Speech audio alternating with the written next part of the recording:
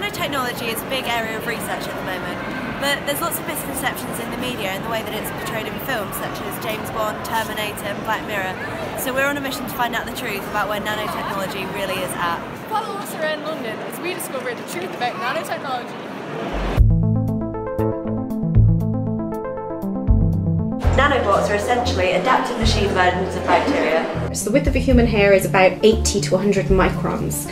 So if we scale that down 1,000 times, we hit the nanoscale um, regime. In the future, nanobots will ideally be made of entirely electronic components, but the current technology being developed is biological in nature. So my research is about like utilizing these materials so that we would have um, a medical imaging platform, but then also the beauty of the particle is there's so much surface that we can then put targeting agents on, we can put drugs on, so we can do multiple things, kind of two or three kind of diagnostics as well as therapeutics, all kind of on a single magic bullet. An ideal nanobot has a transporting function, a processing function, and some kind of fuel source. The fuel unit presents most problems, since current robotic fuel technologies cannot be shrunk to the desired size. The issues potentially with using that is that once we introduce it within the body, then what can happen is that it will just go with the flow, literally within your bloodstream, it'll be circulated about. Macrophages and white blood cells might uptake them, they might then get stuck in the liver, or they'll be excreted out of the body. So they won't actually get to potentially where you want them to get to. Another problem is that metals used for the robots behave one way in large quantities and a completely different way in nanoscale.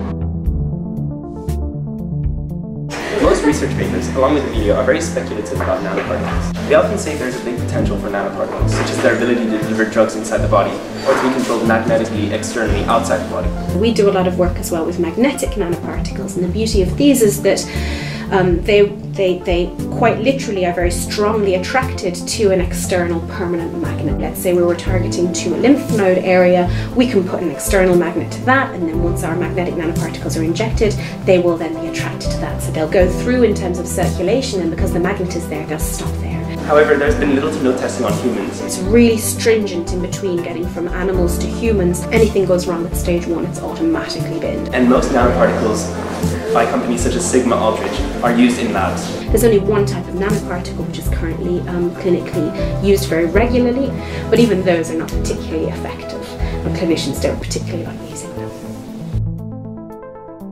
A major drawback of most drugs used in chemotherapy is their lack of specificity. Therefore, while cancer cells are targeted by toxic drugs, so are normal body cells. Nanoparticles can be used as a drug delivery system for chemotherapy drugs, allowing the drug to only be delivered to cancer cells. This is a hugely important step in improving the quality of life for patients undergoing chemotherapy. This means that we can use less of an active drug, but because we're targeting it, more of it's actually getting to the site, so we can be happier about that. The downside, of course, is that it's using a technology which is not currently used in the clinic. Films are a really dangerous, dangerous forum that the public believe. In 9 out of 10 of the examples, nanotechnology is evil and it's bad. It's what makes up the Terminator and what makes him so unstoppable. And there's very few movies where nanotechnology is a good thing. We've made a breakthrough with the nanotechnology. Cutting edge nanotechnology. Microchips in your bloodstream. You can monitor your vital signs from anywhere on the planet.